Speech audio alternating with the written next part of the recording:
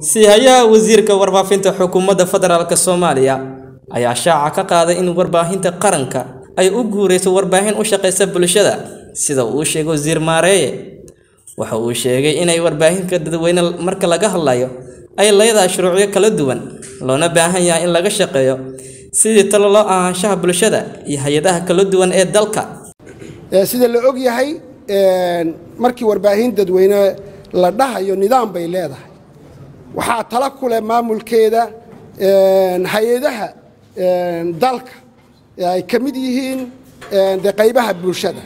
Iyo waxa loo yaqaano lobing groupka bulshooyinku leeyihiin ama qaybaha kala duwan ee bulshada interest groupeska waardiyeeyo danaha kala duwan ee bulshada ayaa ayaa awood ku leh. Oo ay ka mid yihiin sidaa hadda aynoola fadhido walaashay batuulo ururka haweenka soomaaliyeed ururka dhallinyarada soomaaliyeed ururka aqoon-yahaniinta soomaaliyeed ururka looyariska soomaaliyeed xisbiyada ururada warbaahinta waxaasoo dhan waxay ku yeelan karaan taladii wanaagsan. Wax kasta oo si sharciya dalkan uga dhisan hay'ad kasta oo si sharciya sharciga waafaqsan dalkan uga dhisan waxay ku leedahay toosin iyo talo iyo inay fariinteeda ay qayb bulshada ka mida ugu adeegayso ay gudbin karto oo warbaahinta dowladda marsiin karto. Ayay warbaahinta dowladdu leedahay.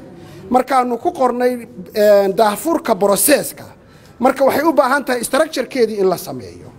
Waxay yeelan kartaa board bay yeelan kartaa qaybaha bulshada ee aan sheegay oo talabixinteeda iyo maamulkeeda iyo barnaamijyadeeda iyo sida ay u noqonayso warbaahin u adeegta si siman dadka soomaaliyeed waxa ugu fiican ee danahooda ee midnimadooda ee wadajirkooda ee wadaniyadooda ahina ka baxaan dad baa tala ku yeelan doona.